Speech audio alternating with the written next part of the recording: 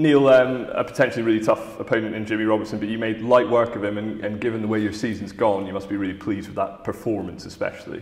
Yeah, started uh, well after the Masters, I suppose. That was when I could. This was the first time I could really properly prepare for because I um, got home just after uh, from the Australia trip with not too much to spare for the Masters, but this one really well prepared and. Uh, yeah, Jimmy's um, yeah tough tough game because you know he's a tournament you know he's won a tournament before and it kind of seems like that these days where if you look at all the way down sort of the rankings now it's like you know you're finding a lot of tournament winners you know ranked in sort of like you know 40s 50s and 60s where you know once upon a time there's maybe only 20 people on tour that actually won something. But now it seems like you know there's an awful lot that I have. And so uh, you just have to commit yourself that you've got to play at your best to win these days. You know, there's no more sort of cruising into quarterfinals anymore. I think that's been pretty evident.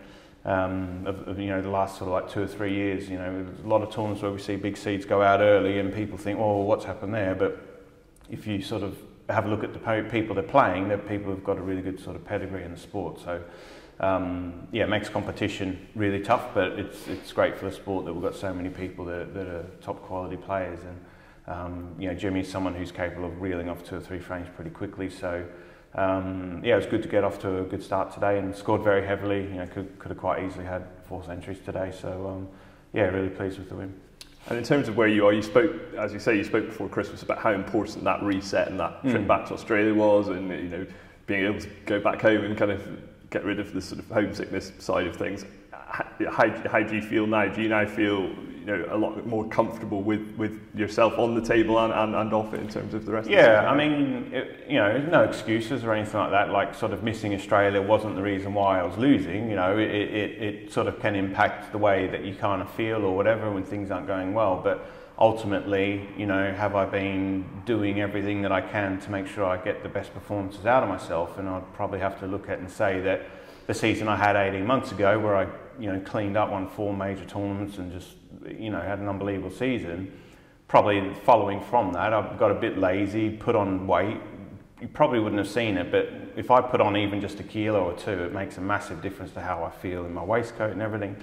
Um, you know, in the UK in the Masters especially, it was like, you know, I could barely breathe in my waistcoat and I'm not going to go to a tailor and have it made bigger. I'm going to have to lose the weight. You know, even if I have to struggle um, in a match, I'm going to force myself to lose the weight and get back to being sort of really lean and feel really good. And, and that's what I've been able to do the last couple of weeks, which has been really good. And you know, uh, don't want to sort of dwell on the results too much, but what it has done, it's inspired me to become a better player than what I ever have been before. The things that I'm doing now is going to pay off over the next few months. I'm convinced of that. And um, what I'm doing is like absolute sacrifice for the sport.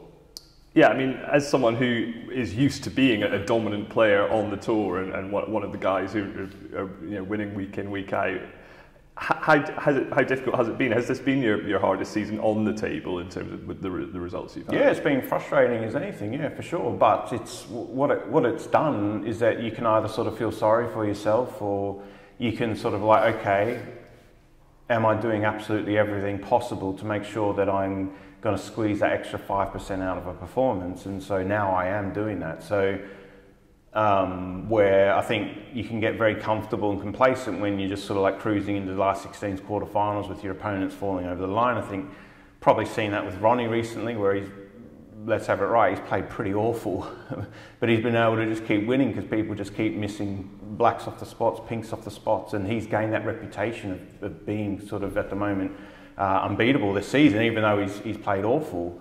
And he's almost like, he's even talked about it himself, he's almost laughing about it. You know, people just can't put him away. So that has sort of gone for me now where people are putting me away if I'm not playing well. And so I just have to play well. I'm not, I'm not focused on if my opponents are playing the match of their life. If they're playing the match of their life, then I've done something wrong. So I'm just really focused on getting the best out of my performances and controlling everything I can do, which is really super hard work, eating well, sleeping well, you know, yeah, diet, uh, physical exercise, just everything. I'm, I'm, there's absolutely no stone that's going to be unturned for, from now until the rest of the season. And in that quest, if you can find what you deem to be your very top form again this season, how satisfying will that be given where you've come from? That, I'm sure. Yeah, it'll be a good story. Like it will be, you know, the things that I'm doing, I'm sort of, you know, keeping track of and that to make sure that I never go back into that situation ever again because, you know, it's very easily done. You know, you just take your eye off the ball for just a moment and you can't just like, oh, I'm just going to start winning now. You know, that's what I this season, I was like, okay, I'm going to practice hard. I'm just going to start winning again. It's not like that. All of a sudden, your opponents think, oh, maybe he's not playing so well or whatever, and then they raise their game. But you know, I, I need to, you know, put everyone down. You know, I think that's like ten consecutive frames I've won in a row now. I need to get back to being, you know, brutal and just burying opponents into the ground. That's what you know. There's no more happy, smiley handshakes anymore you know, I want the worst for my opponent on the table. Away from it, no problem, but on the table, I, I want them to suffer. So that's what I'm going to get back to. We've made a very good start of that quest this week. Well done. Thanks, mate.